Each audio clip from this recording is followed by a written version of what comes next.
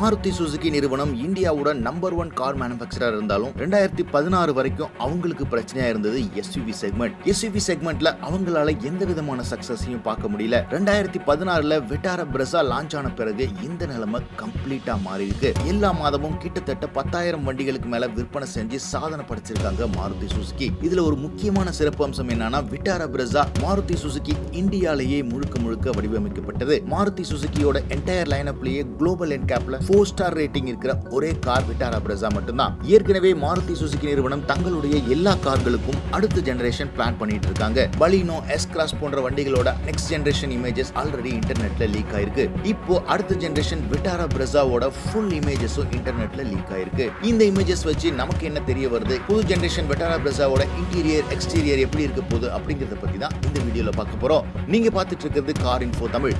கார்கள் பற்றிய அனைத்து தகவல்களையும் உடனுக்குடன் தெரிஞ்சுக்க கார் இன்ஃபோ தமிழ் சேனலுக்கு சப்ஸ்கிரைப் பண்ணுங்க. நெக்ஸ்ட் ஜென்ரேஷன் விட்டாரா பிரசாவோட டைமென்ஷனை பொறுத்த வரைக்கும் எந்த விதமான மேஜர் சேஞ்சஸும் இருக்காது. இது ஒரு sub four meter compact SUV அப்படிங்கிறதுனால அதே ஃபோர் மீட்டர் லென்த்தை மெயின்டைன் பண்ணுவாங்க. ஃப்ரண்ட் அண்ட் டிசைனை பொறுத்த வரைக்கும் ஹெவிலி ரீடிசைன் பண்ணியிருக்காங்க dual beam projector headlamp with integrated LED DRLs நாம பார்க்க முடியுது.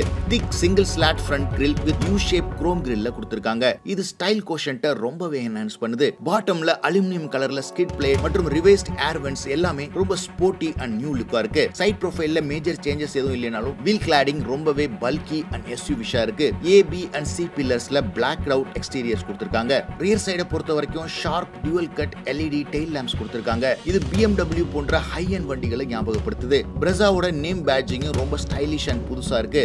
Outside rear view mirror with integrated blinkers roof spoiler door cladding புதிய அலாய் வீல்ஸ் அப்படின்னு எக்ஸ்டீரியர்ல ஏகப்பட்ட ரீவொர்க் பண்ணிருக்காங்க மாருதி சுசுகி எக்ஸ்டீரியர் மட்டும் இல்லாம இன்டீரியர்லயும் மேஜர் அப்கிரேட் வெட்டரா பிரசாவுக்கு கண்டிப்பா தேவைப்பட்டுச்சு. Floating touch screen infotainment system Ciaz XL சிக்ஸ்ல வர அதே steering wheel with audio under controls cruise control paddle shifters Suzuki connect technology அப்படின்னு இன்டீரியர்லயும் எல்லா ஃபீச்சர்ஸையும் லோட் பண்ணிருக்காங்க. அண்ட் இந்த இமேஜஸ்ல இருந்து நமக்கு கிடைக்கிற முக்கியமான இன்ஃபர்மேஷன் என்னன்னா புது ஜெனரேஷன் வெட்டாரா பிரசால நம்ம எல்லாரும் எதிர்பார்த்த சன் ரூஃபை ஆட் பண்ணிருக்காங்க. இன்ஜினை பொறுத்த வரைக்கும் அதே one point five litre one nought three BHP produce பண்ற பெட்ரோல் இன்ஜின் நமக்கு கிடைக்கும். வித் மைல்ட் ஹைபிரிட் டெக்னாலஜியோட மேனுவல் அண்ட் ஆட்டோமேட்டிக் டிரான்ஸ்மிஷன்லையும் இருக்கும் அப்படிங்கிறதுல எந்த விதமான சந்தேகமும் இல்லை. பிரைசிங் பொறுத்த வரைக்கும் கரண்ட் ஜென்ரேஷன் வெட்டாரா பிரசாலேருந்து கொஞ்சம் அதிகமாக தான் இருக்கும் அப்படின்னு இந்த டிசைனை பார்த்தாலே தெரியுது.